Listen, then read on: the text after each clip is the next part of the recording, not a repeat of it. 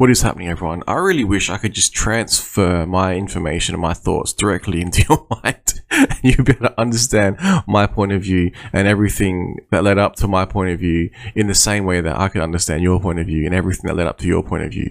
But we can't do it at the moment. So we will have a look at some pretty interesting stuff. Now, if you've been paying attention to the world and what is around you, you might have seen some of this, you might have stumbled across it. Scientists create matter from nothing in groundbreaking experiment. Now, for many years, basically, you can't create something from nothing, but now they've been able to do it. Well, unless you're the Federal Reserve, you know, and your uh, fiat currency. But that's another story. The theory was produced 70 years ago and it's been verified uh, as correct. So we really can create matter out of absolutely nothing. Eh, might be something to pay attention to in, you know, 2022. Uh, we also have now. I'm pretty worried myself because I've got some shit weather going on, and I'm the the pipes are all blocked up, and I need to like make sure that the uh, the water's still running. Now, anyway, uh, where it needs to go. Remember when there was a massive volcano eruption, and there is some studies, but there hasn't been many studies, basically indicating that volcanoes can affect the weather patterns, and especially when there was a large one, like it was, I think, around this area as well. Uh, basically, can affect the weather patterns. Also, I think we've got La Nina going on, affecting the uh, climate, hence the climate change. But anyway, this one I discovered while I was trying to pull up an old article, and it says a Tongan island emerges from sea following a volcanic eruption. So a new island has emerged. That is pretty interesting. Maybe that will be the future location of Hexaco. Who knows? Looking at cryptocurrency. It's green, everyone. Bye, bye, bye. God, no. Please don't leverage, don't trade. Oh my god. Maybe DCA in, maybe, but let's have a look what's probably coming. We do have this article here. Again, this in itself is an interesting study. I'll cover it shortly. Warning signs. Warning signs. This is me interpreting information being relayed through the internet cables appearing on my screen from a server somewhere and basically the warning signs are saying multiple multiply ahead of pivotal fed meeting i don't even know what that means oh warning signs multiply if i read the whole sentence it would make more sense yeah um further to fall uh it's just not looking good uh, like I said, I don't want to be doom and gloom, Mr. Doom and Gloom, but I want to be out here saying, bye, bye, buy. It's a goodbye. Definitely, you know, go long. 1000x, do it. Here's my referral link. Like, oof. Makes me want to vomit people that do that, to actually profit from that well. Oh my god, I thought to telegram off, but I didn't. Anyway, it's going off. Now, we've got this one here. It's a Wall Street Journal article, and on the same topic of like, the market, what is happening, um, I tried to locate this article and it sucked because it was behind a paywall. Tried to do the old um, search, and if you want to, if you really, really want to, you can actually find the same article for free on MSN. So I'm not sure why you would pay for it. But anyway, yeah, uh, the dollar rise spells trouble for global econ- economies. So imagine if you weren't living in the US, or imagine if you are living in the US and you're noticing the prices of everything increasing. Imagine if you didn't have a strong dollar, how much more things would cost. Now that's mind bending because I'm noticing here, uh, if you look at maybe, it sounds funny, but you know, the price of ammunition, um, sometimes indicates what the economy is like and the supply lines. It's quite high at the moment and it's quite low here in Australia. Now, if you then look at this, it says, I was trying to explain why the dollar's rise um, could be like positive or negative on the whole economy. So what you're seeing currently with the rates rising, the dollar will rise, and basically, if you're not in the US, you're not in the US dollar, um, your the currency, your currency is buying even less. Um, I think not that long ago, the uh, no, my Telegram's doing that. It's weird not that long ago, uh, you saw the euro lose parity, and for the longest time, the euro was stronger than the US dollar. That would mean you know you'd have one dollar, you get about a dollar twenty or something. Um, the euro now it's actually like parity, loss parity. Um, and this is a trend I've been noticing across the board. So, for instance, if I sell some uh, cryptocurrency priced in US dollars, uh, if I price it in Australian dollars, it's actually quite favorable. So, I'm not complaining. I'm not selling either because, goddamn, these prices are bad. But we see here, basically, it explains that the Federal Reserve's aggressive interest rates are increasing, which could, you know, which has been encouraging global investors to pull money out of markets and invest in higher yielding US assets. Uh, recent economic data suggests that US inflation remains stubbornly high, strengthening the case for more Fed rate increases and an even stronger dollar. So, stronger dollar, higher rates, lower stock market, lower crypto. Basically, um, you could come to that conclusion. Now, moving on, we've got yeah, this guy. Um, I wouldn't mess with Interpol, man. he's been red flagged, and he's not on the run.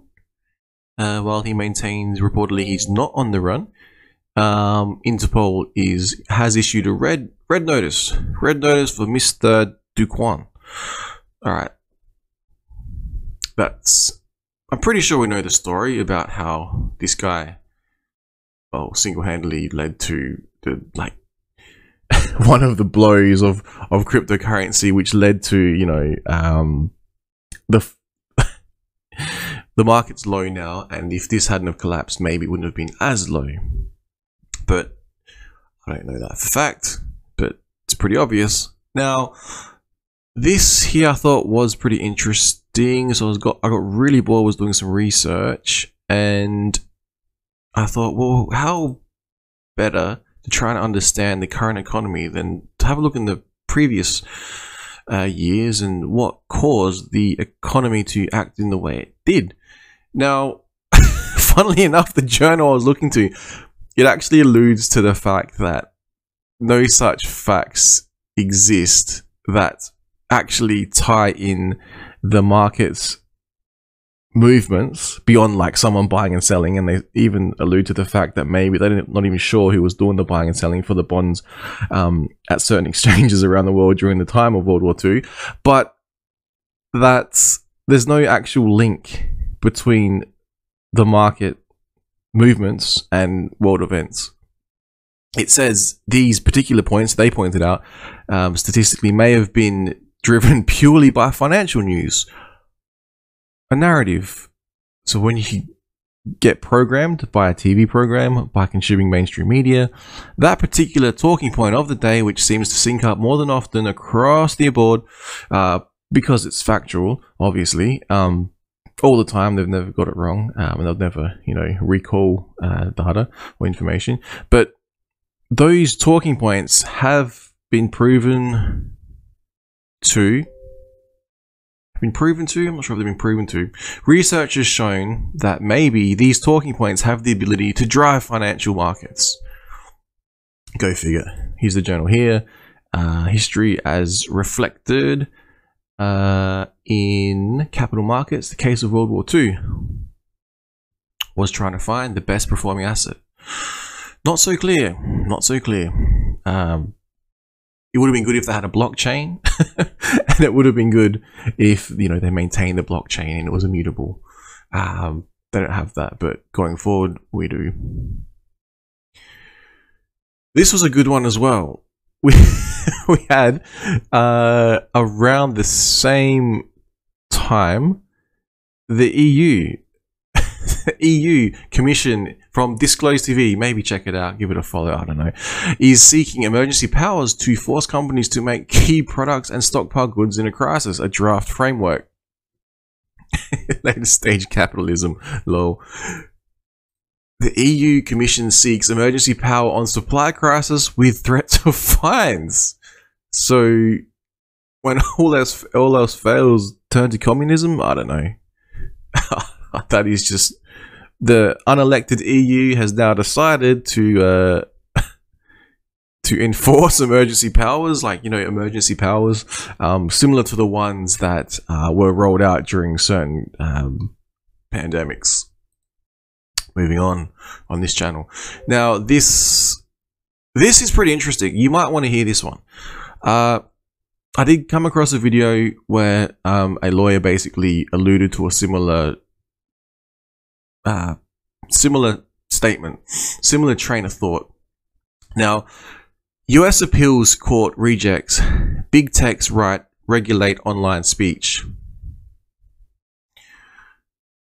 Basically, the argument is a under the First Amendment in Texas, a court has said that big tech cannot infringe upon the freedom of speech. Obviously, not to like incite violence, but just the freedom of speech, you know. Here in Australia, I would call it the political freedom of speech, which I openly have. So I'm watching this one closely because I would hate to see big tech censor me because of my political free speech. Obviously, not because I'm doing something illegal, like inciting violence through your speech, which is, which then you can understand, like that should be censored. You know, you don't you don't want that. But when big tech oversteps the line and does infringe upon the freedom of speech, they they got some problems. Now it goes on to explain this, and um, I'll read some of the article. A U.S. appeals court on Friday upheld a Texas law that bars large social media companies from banning or censoring users based on viewpoint. A setback for technology industries groups they say that say the measure would turn platforms into base stations of dangerous content. Ooh. Dangerous content because you're not towing the line of a talking point or narrative, which previously has been proven can affect financial markets. Huh. Go figure. Now, why is that interesting? Because speech, right? Speech, as per dictionary.com, I'm assuming here, Oxford Languages, uh, the expression of or the ability to express thoughts and feelings by articulate sounds, you know? A formal address or discourse delivered to an audience. The argument is, which I strongly believe is valid, is blockchains are free speech. Thinking to the pulse sacrifice, the Pulsechain sacrifice is creating a set of people that believe speech is a protected human right and blockchains are speech. Sacrifice to prove you believe.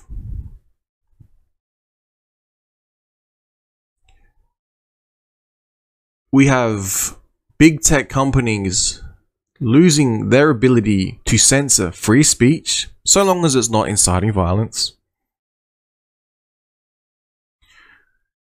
And blockchain technology is free speech. It's a protected human right. Let that sink in. Just let that sink in. This is what we all sacrifice for. This, this is what I sacrifice for.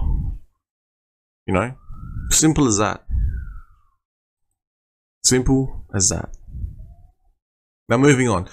Putin's BRICS new currency could benefit gold and Bitcoin analysts.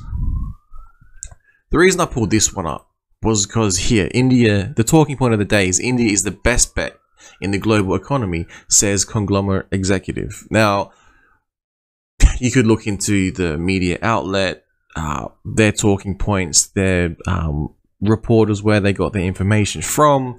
Maybe they have their own uh, agendas. I don't know. Maybe they're leaning politically certain one way or they want to push a certain narrative.